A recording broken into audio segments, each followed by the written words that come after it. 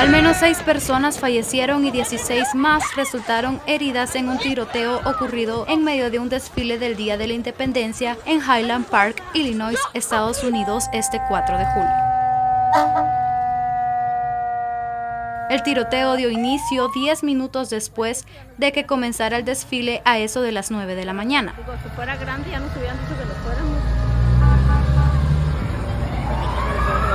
Los participantes presentes en el acto conmemorativo corrieron en pánico para ponerse a salvo.